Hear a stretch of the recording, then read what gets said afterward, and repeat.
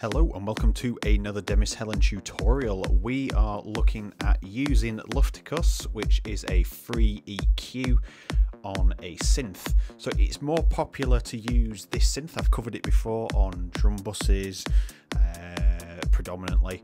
Uh, you can use it on your mastering channel if you're doing your own mastering. Um, but can you just use it on a synth, like just any synth lead? So we're looking at this one here. Um, so once it gets to this point, uh, we'll look at how we can use some of the features of Luftikus just to brighten it up a little bit because it's a little bit muddy at the moment. Um, so Luftikus is an EQ, it's got uh, six points in total, so really five points on the EQ spectrum and then it's like a high booster on here, so it's just like a high shelf.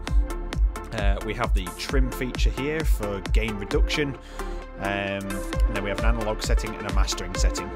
So, here we are with the melody introducing.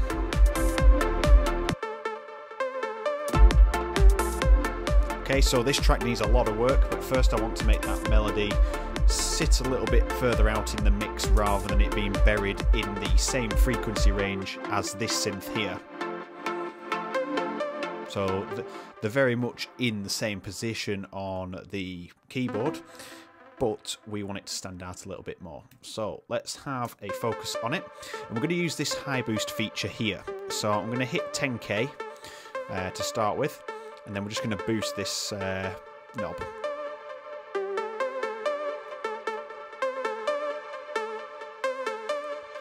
So you can hear it's getting a bit sparkly. We'll just crank it all the way up, see what it sounds like.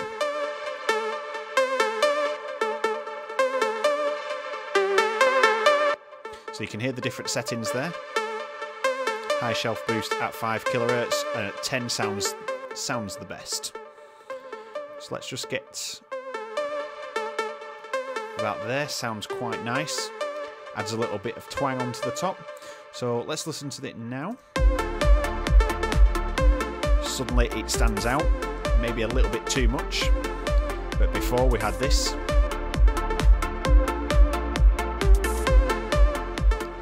Okay, so we're just going to use the trim feature.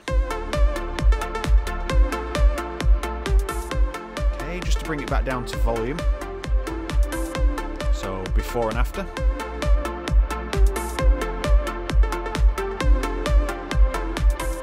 Okay, so it's sounding good.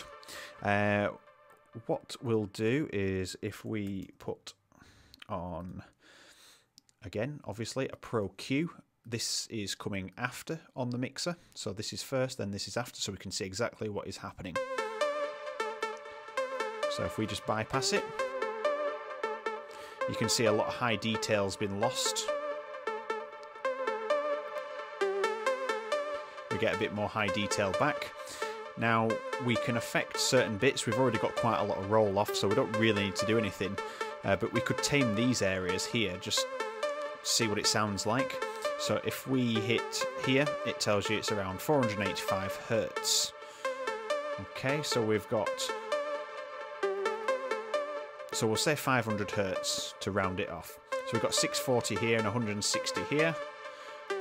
So I'm going to take it, that is our uh, range that's going to be closest to it. 640 is about there. So it's just a little bit further up, obviously but we can cut more of that section out. Or we can actually increase it and you can see the volume levels have increased. Or we can reduce it so it's actually staying below the line. But uh, we want to keep it so we have those harmonics. So I've just dropped them a little bit. We're not doing too anything too drastic uh, and we don't need to do anything with anything else because we've already rolled the bass off Okay, so we've used the uh, Luftikus on there. I'm just going to remove Pro Q off there because we don't need it. So we've made a dra dramatic difference there to that. So now this synth is sounding a little bit nasally. So let's take a look at what's happening on here. Uh, bearing in mind this is an old track. So I'm just going to load Luftikus on here as well. Here we are. Okay, so let's pick 10k again.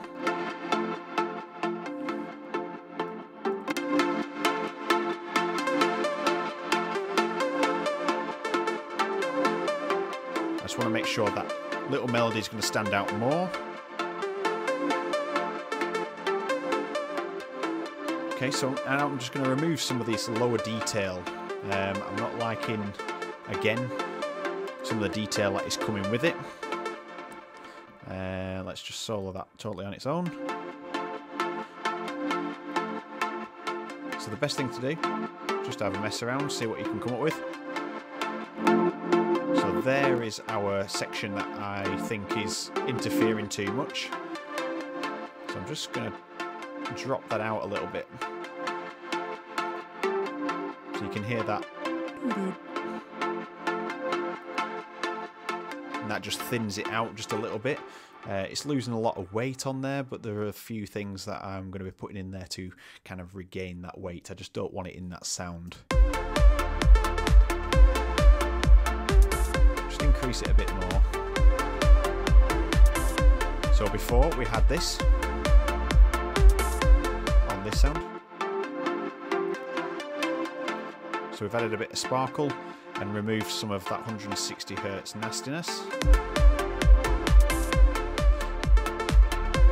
So technically, because we are very limited to the bands that we can actually affect, it's not working too great for this particular synth.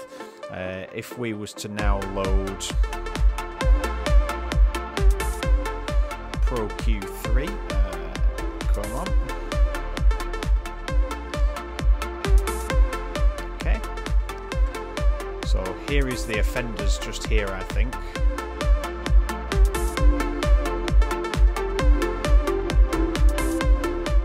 So if we just remove that for a second, in fact just delete it altogether.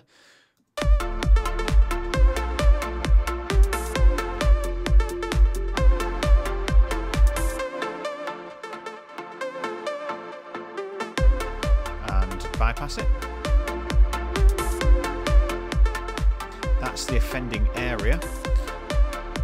I won't drastically cut it like that. Uh, I am trying to cut out a bit of that whistling, uh, but we have gone here at 349 hertz.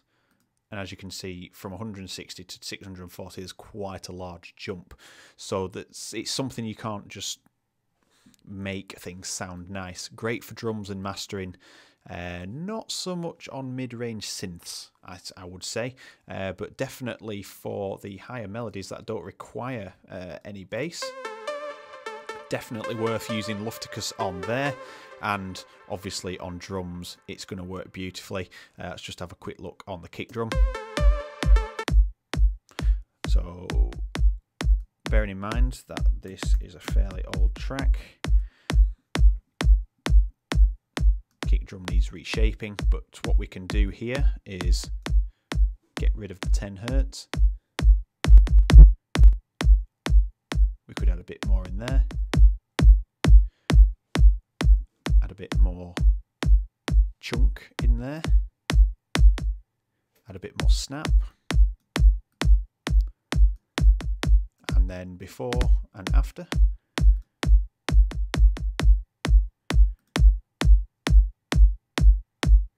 So bearing in mind the kick drum isn't fantastic, but taking a look at the song now,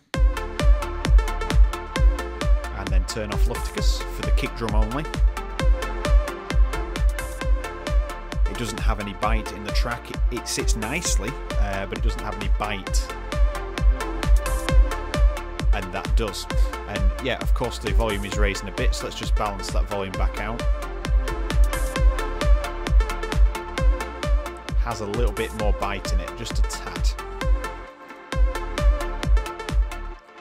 So, uh, yes is the answer to using Luftikus on synths. Uh, you you can use it on your higher synths, uh, but because you've got that 160 hertz to 640 hertz jump, any of the low mids essentially cannot be controlled by this, so you wouldn't be able to do anything in that area. But for uh, your top synths and maybe the sparkle on pads, you can add sparkle with these, and especially the high boost feature.